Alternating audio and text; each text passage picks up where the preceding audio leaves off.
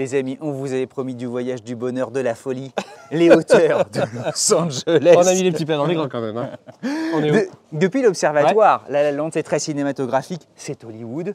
Pourquoi Hollywood? Parce que la Prius qui a 25 ans, elle a connu sa carrière ici avec des ambassadeurs hollywoodiens, DiCaprio, Ben Affleck, Matt Damon, Nathalie Portman et Julia Roberts, et j'en passe. Son histoire est intimement liée justement à la Californie. Ouais. Et on va aller à la rencontre de personnes et personnalités qui connaissent justement mieux que leur poche Los Angeles, la Californie, l'industrie automobile et, Et on a- évidemment la Prius. On aura un régional de l'État d'ailleurs, un conducteur de Prius, et on lui donnera le, le volant de la nouvelle Prius pour qu'il nous en fasse un essai et qu'il nous dise ce qu'il en pense. Restez avec nous, vous n'avez pas fini d'en prendre plein les mirettes. On s'abonne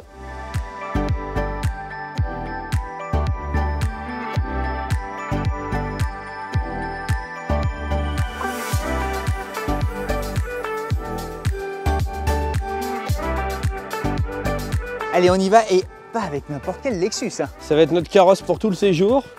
Dernière génération de Prius, PHEV. Avec un super bleu, Vincent. On est parti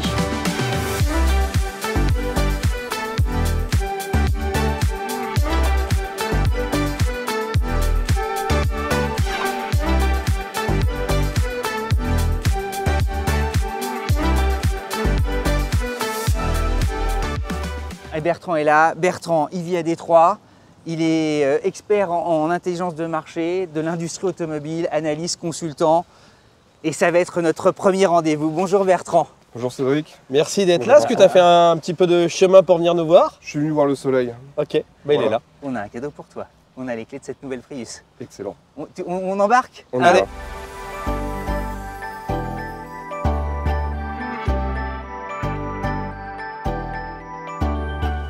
Pourquoi nous avoir donné rendez-vous à Beverly Hills Tout simplement parce que la Prius, c'est une voiture populaire qui a ses racines au milieu des stars. En 97, donc la Prius est lancée au Japon.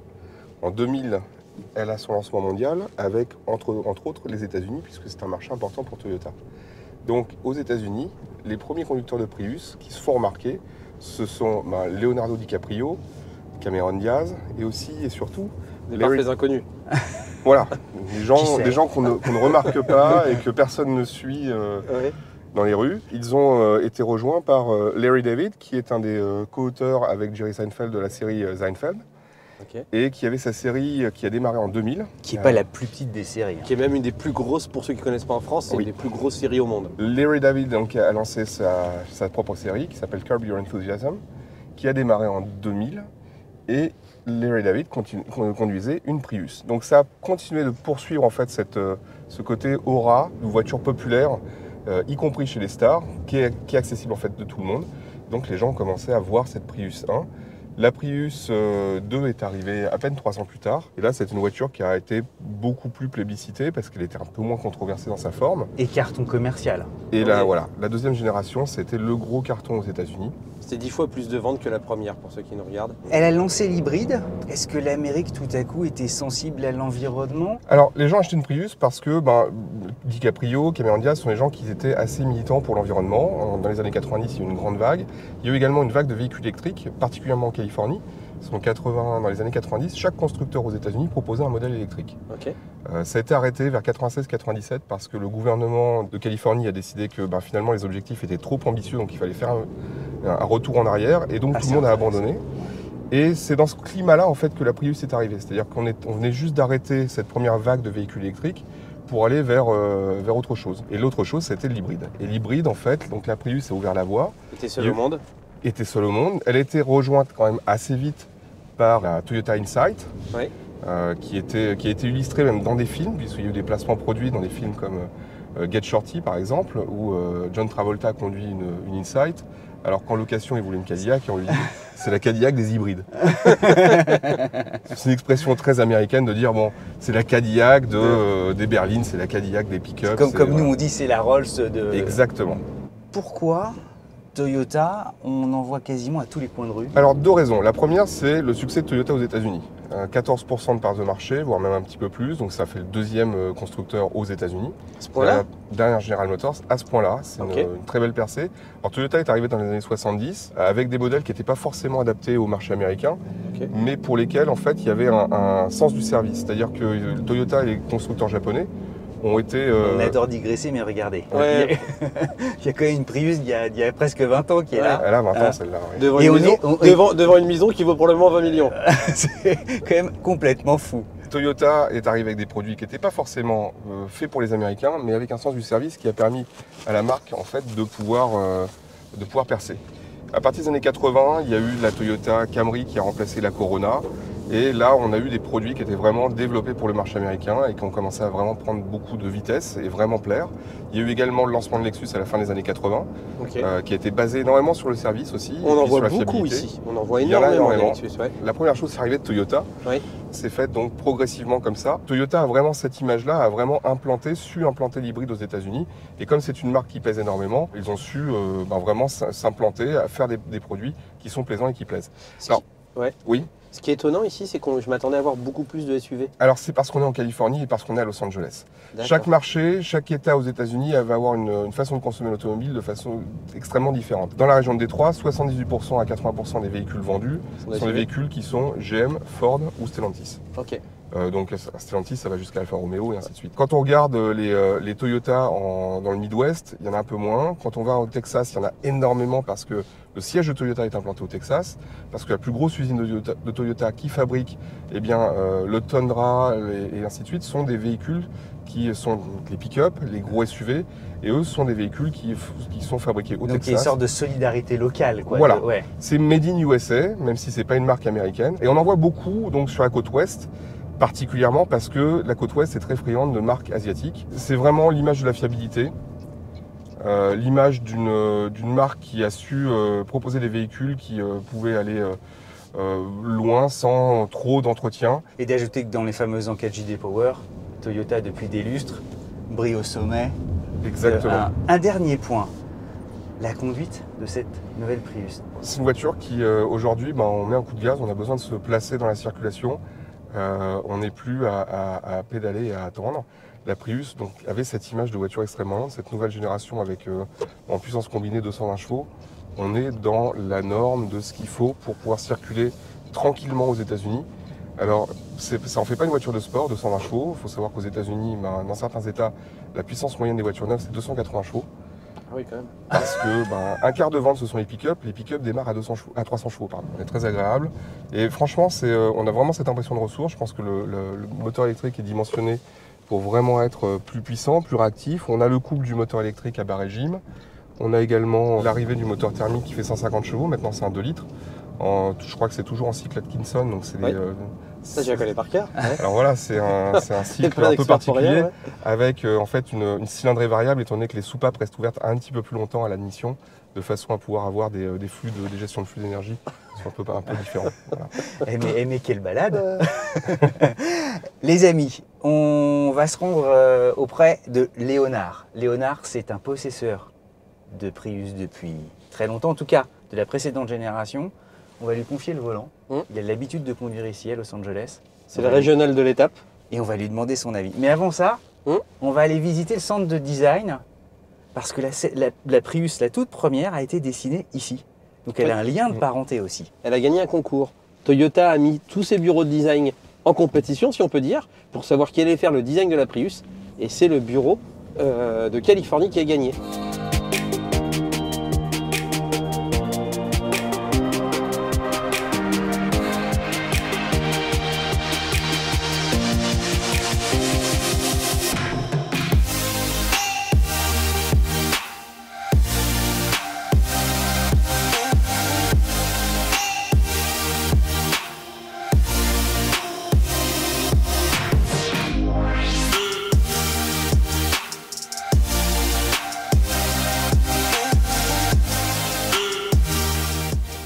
Voilà. nice to meet you, Nice to meet you. Welcome to Calty. Well, we're in Newport Beach, California. So we're at Calty Design. This is one of our design studios that we have. We have two.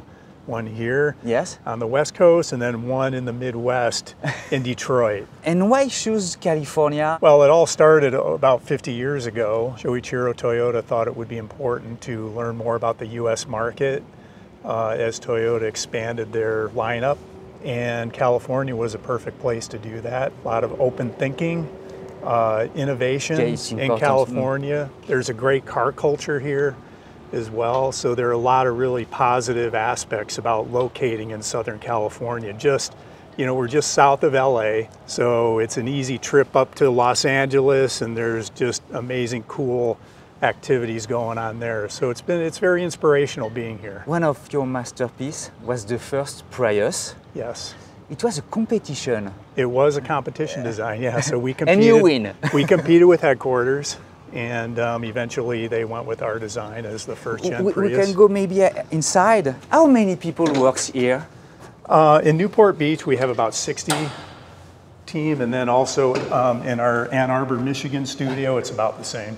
In the 90s, when you, you draw the, the first Prius, so it was a competition, it was an easy work. Well, I mean, if you think back to the first gen Prius, it was the first mass-produced hybrid car on the market. Exactly.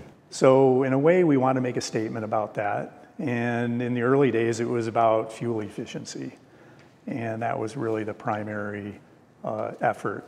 So we wanted it to signal something different than a typical gas model. I think you'll notice that it, it, it's, it's a bit of a sedan profile, but it's a bit chunkier. If you look at the silhouette, there's a super sloped uh, It was a small car for US market. It was it was relatively small for the U.S. at the time. Uh, a lot of the reason for the profile is aerodynamics to maximize the potential of that and have that translate into fuel economy. It was very aerodynamic for its day. It was an effort to to signal something different in the market, and I think initially a lot of the celebrities in L.A., California, uh, we used to call it sort of ecology movement or something. But a lot of uh, people really enjoyed this car. Yes, like and it got a lot of DiCaprio and- publicity and- that way. There's a wall just front of us where all your uh, masterpiece. yeah, Is that right, no? Sure. I- I- well, it's our history. Um, so, you know, starting on the left side, we, we see a picture of Shoichiro Toyota, and then that's uh, Yagashi san. He was really the first um, executive design director to uh, endorse Calti, you know, as a studio that's in funny. California.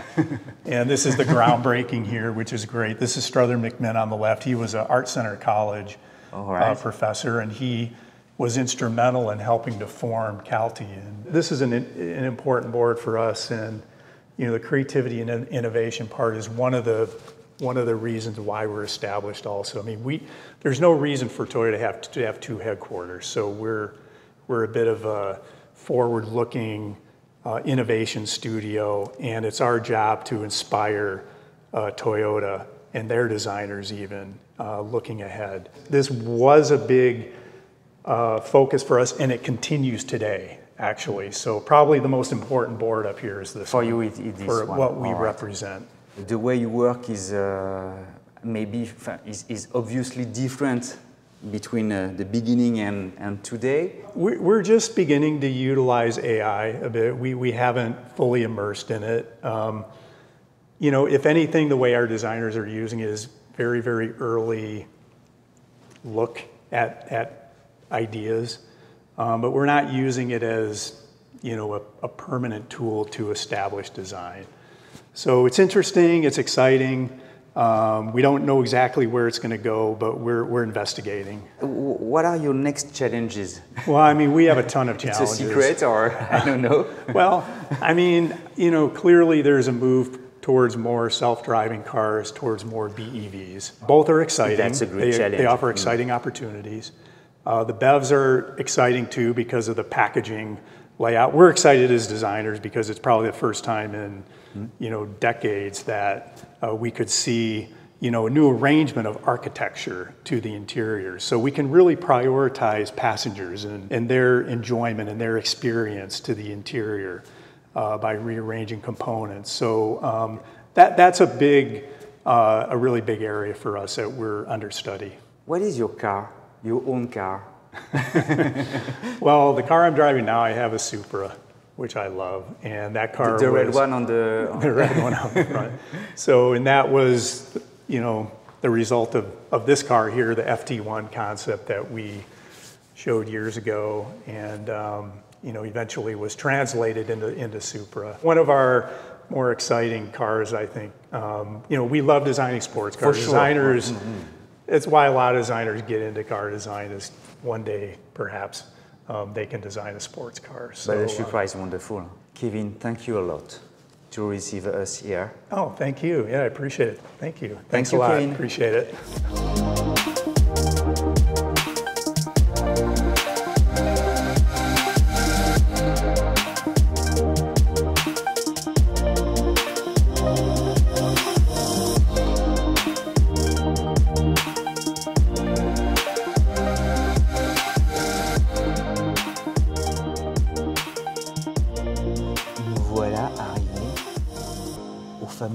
L'arrivée du Cannonball. Ça Mhm. commence en 1915, il y a presque un siècle.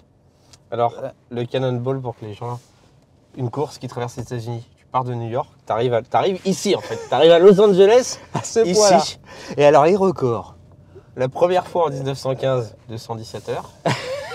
le record, je crois, c'est légèrement en dessous de 26 heures. Exactement. Et je crois Il qu'il y a le rec- record en hybride.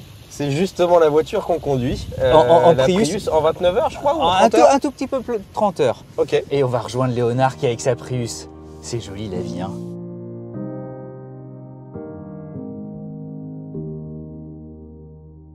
Et ça, c'est un point de rendez-vous, hein. Nice to meet you, Léonard. Hello, welcome to California. Yeah, thank you. Thank That- you, That's Leonard. a meeting point. That's the place. That's the, the, the finish line of the cannonball. Yeah, exactly. I- I- That's a, a big meaning for, for you? Well, yeah, I would say so because I'm a driving guy. I like driving, and I did two times cross America uh, road trip, Ah, you, but not from New York, from Okay. Michigan From, ah, to California. you to did it West with the Prius? Yeah, I did once So- with that one. That's your car? Yeah, Since when you, you've got it? yeah. Uh, I bought it in 2017. I just need a family car, which saves fuel. all right. Uh, especially in California, the, the, the fuel price is, you know, the, I I think probably the highest in the US. Ok. Yeah, and I need space. So Prius really surprised me because it looks like a small car outside. For sure. Yeah, but it's really States. spacious inside. I, I even use this car to, uh, to load some furniture. I think it's not a boring family car. Yeah, I think from the fourth generation, Toyota really put some um, sporty DNA in the Prius. I wouldn't say it's a powerful car, but it's, it's swift. How many horsepower? Uh, Oh, this- 122? Yeah, this one 120 something, but that one. Yeah, That's un a, that's a monster. this. Hey, let's go. Let's go. Okay. We, we're gonna try it. That's gonna be yours for, uh, for a couple of hours. That's your gift. So, Wow, so nice. I love the design. I love the you know the futuristic, the the sleek shape. Yeah, it's like a water drop. I like the wheel, the bigger wheel. what do you think about the back? yeah, it's it's fantastic. It's stylish. So let's go. I think there's a big difference You're gonna drive? be, be, behind the Thank behind you. the steering wheel.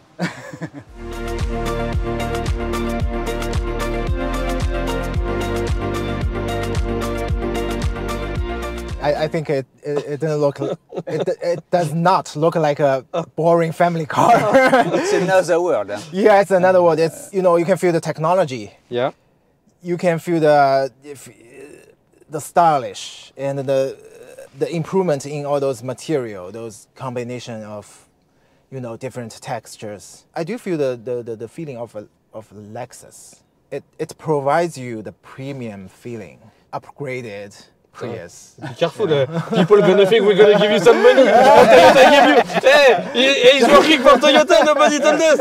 I can assure you, I can assure, assure your viewers that I, I, I'm doing this for free today.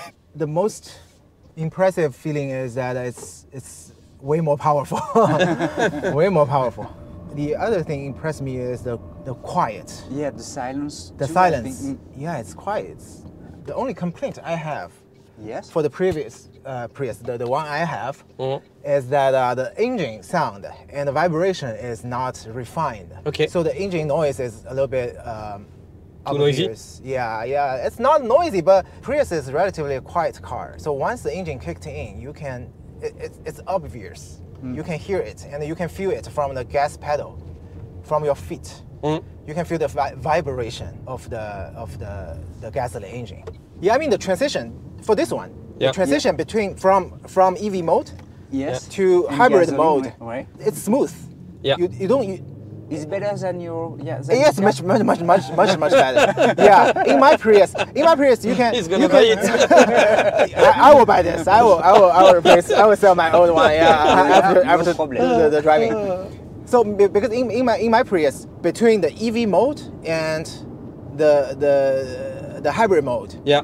you can definitely sound it and feel it. You can sound the engine. You can you can feel the vibration. But this one, I just pay you know like 200% attention to the engine. Okay, I feel a little bit, but I think in daily drive, You don't feel it. you you won't notice it. Okay. You will not. About the screen. Do you like it? Yeah, the, yeah, because my my, my Prius the, my Prius doesn't have the uh, CarPlay. Yeah. Ah, you, you don't have any CarPlay? No, I don't have CarPlay. Okay. Why? Yeah. oh, that's uh, Android. That's that's An- without the Apple Android CarPlay. Auto? Is that Android Auto or? No, no, no. It looks like Google. Oh. Yeah, basically, when I when I first drive the car, It's- I was thinking that kind was of Google. as well Google uh, Automotive, but Oh. that's not that's Toyota. But it's Oh, like that's uh, oh, that's the the, yeah. the Toyota system. yeah. Oh, okay, that's big in- improvement. If you have to change car, will you go for this new one? Oh, absolutely. Wow. Yeah, Leonard, we love you. I'm a loyal Toyota user. Leonard, thank you very much. yeah. Your Thank- smile was more than enough uh, for us. Thank Thanks a you. lot. Thanks again. Thank you, thank you. Pour les gens qui nous regardent, bah on continue notre trip. Ah bah oui. Ah bah oui.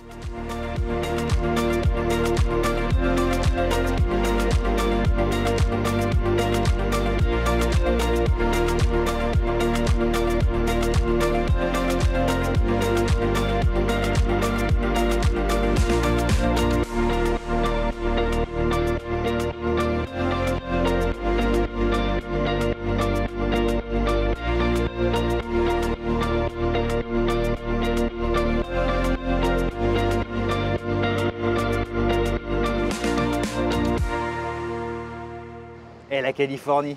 Tu t'attendais à ça ou pas alors? Honnêtement, c'est une chance. hein, euh, Toyota Prius, 25 ans, un destin mondial, des voitures qui ont eu comme ça un destin à la fois aux États-Unis, à la fois en Europe, à la fois en Asie. Bah, c'est assez rare. Ça nous a permis de faire un joli road trip? On vous a emmené là où elle était conçue en dessin, là où elle a connu son succès avec des stars planétaires. On s'arrête pas là. On va où maintenant? Ben on, on- on marche vers le Pacifique, non? Là on, refaisait alerte à Malibu sans nos maillots. Alors ça- là où on va, ça va pas être à l'air- à Malibu. De- derrière le Pacifique. Oui. Là, on a connu évidemment le destin de la Prius euh, Oui. californien. Elle a un destin japonais. Eh ben on va y aller. On vous emmène et là Hein mine de rien vous êtes passé. les vous avez eu dans les premiers épisodes de la France, deuxième épisode des États-Unis, troisième épisode du Japon. On est chanceux. 48 000 km, on est en train de faire le tour de la Terre. On vous emmène avec nous, on s'abonne. Le La- petit pouce bleu. La bise à mamie, Le parce que mamie, et grâce à mamie, on fait quand même un, un sacré tour du Le monde. petit pouce bleu de soutien, le petit commentaire qui nous fera plaisir parce que c'était du boulot. Merci euh, à toutes les équipes qui sont avec nous. Merci aux invités qui étaient avec nous dans la vidéo.